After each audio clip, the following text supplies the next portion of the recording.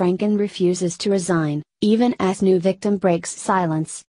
A second woman has come forward with sexual misconduct allegations against Democrat Senator Al Franken, but the liberal lawmaker has refused to resign from his position. Journalist Leigh Tweeden reported last week that Franken had inappropriately touched her and forcibly kissed her during a 2006 USO tour overseas.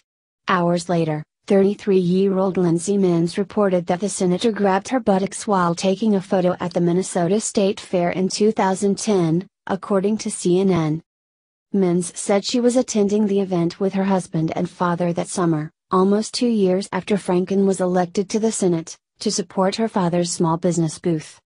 Various elected officials and candidates had stopped by the booth and took photos with the group, including Franken who Menz and her husband, Jeremy, recognized right away.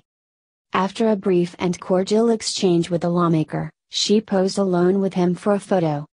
Franken pulled me in really close, like awkward close, and as my husband took the picture, he put his hand full-fledged on my ear, Menz said.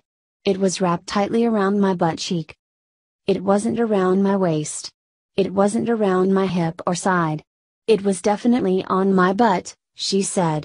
I was like, oh my god, What's happening? Although he couldn't see what was happening behind the two, Menz' husband noticed the senator's odd behavior. He reached around her and kind of pulled her into him, he said. He pulled her in and pushed his head against her head. It was over pretty quick. She quickly got away from the junior senator, telling her husband moments later what had happened.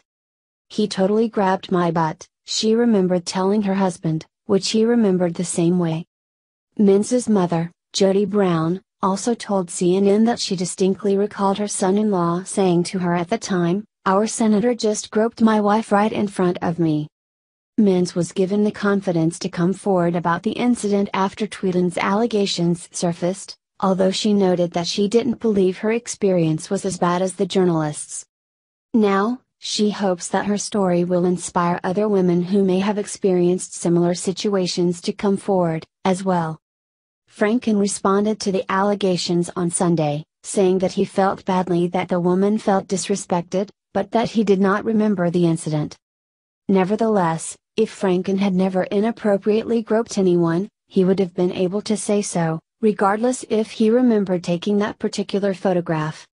I take thousands of photos at the state fair surrounded by hundreds of people, and I certainly don't remember taking this picture, Franken told CNN. I feel badly that Miss Menz came away from our interaction feeling disrespected. However, he did not give any indication that he intends on stepping down from his U.S. Senate seat. In fact, a spokesperson for the senator responded no when asked by reporters on Saturday whether Franken would resign in light of the allegations. He is spending time with his family in Washington, D.C., and will be through the Thanksgiving holiday, and he's doing a lot of reflecting, the staffer said by text, according to the Minneapolis Star Tribune.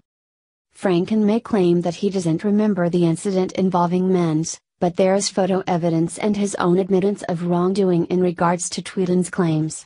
That should be more than enough for some to resign from his lofty position as an American lawmaker. If he were a conservative, much less evidence would be needed for people to call for him to step out of the political arena. See, Alabama Senate candidate Roy Moore.